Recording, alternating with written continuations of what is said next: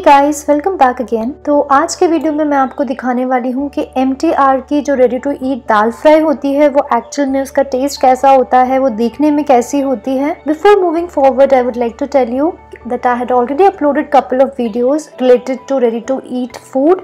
And the link is there in the description box इस दाल fry को बनाने के लिए आपको सिर्फ़ इस पैकेट को या तो गर्म पानी में डायरेक्टली डिप करना होता है कुछ टाइम के लिए। दूसरा मेथड ये है कि आप इसके कंटेंट को बॉल में ट्रांसफ़र करके हाई टेम्परेचर पे वन टू टू मिनट्स के लिए माइक्रोवेव कर सकते हो। और जिसका लास्ट मेथड है, वो है कि आप इसका जो भी कंटेंट है, उसको डायरेक्टली किसी भी कुकवेयर में ट्रांसफ़र करके गैस के ऊपर हीट कर सकते हो। सारे इंस्ट्रक्शंस पैकेट के ऊपर मेंशनड है। अनदर इम्पोर्टेंट थिंग इज़ जैसे ही आपका ये ग्रे वाला पाउच ओपन हो जाता है, आपको इसे तुरंत ही कंज्यूम करना होता है और आप इसे बिल्कुल भी स्टोर करके नहीं रख सकते हैं। तो मैंने यहाँ पर जो आपको थर्ड मेथड बताया, वही हम यूज़ करने वाले हैं। बस यहाँ पर मैं गैस की जगह प्रेस्टीज का मल्टी कुकर यूज़ करने वाली हूँ।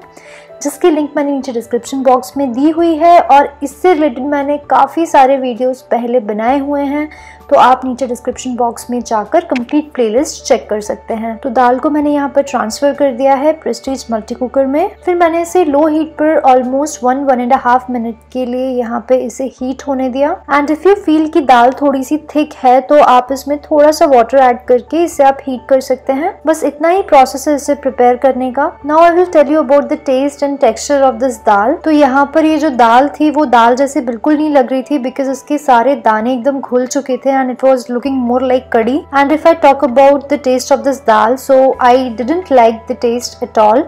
बस इसमें एक छोटी सी लाल मिर्च यहाँ पर इन्होंने तड़के के नाम पर डाली हुई थी। According to me the taste is below average I shot this video during one of my trip to be frying guys मैंने एम के और भी प्रोडक्ट्स ट्राई किए हैं।